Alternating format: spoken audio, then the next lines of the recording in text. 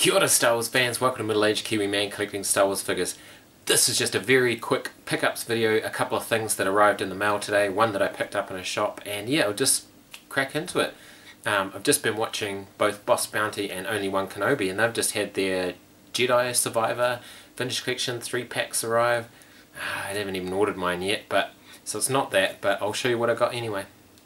Okay, let's check out what I got. Another first order stormtrooper.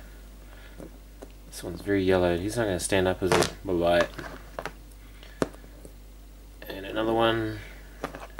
And another one. Got these very, very cheap off um, New Zealand Action Figure Collectors Facebook group. And then as part of that, I got this guy for just five bucks. That's five bucks New Zealand, which is like three bucks American. It's a Spider Droid, and it's from the Saga collection, and it was part of the deluxe line. Thank you, banthaskull.com, for that info. And yeah, and it's totally complete. It comes with four different legs, it's got a wind up mechanism, and it looks like it fires. Pure.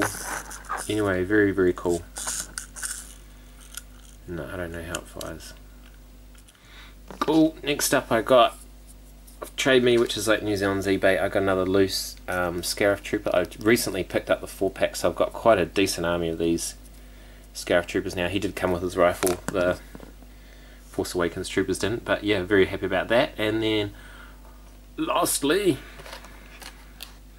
I picked up another one of these. Went into a shop at lunchtime, and they had that wave. Um, really weird. So the Darth Vader of the Dark Times, which I think is one of the greatest figures of all time, was one dollar cheaper than the Obi-Wan Kenobi figure from the same uh, wave. So that's a bit weird.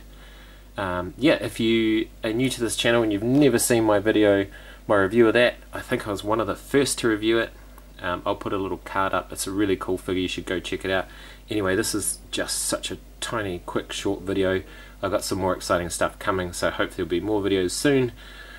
I've sorted out my bigger studio so I can review bigger vehicles, so I'll be doing one of those this weekend. But anyway, thank you so much for watching. I'm Middle Aged Kiwi Man collecting Star Wars figures. Ka and I'll see you on another video.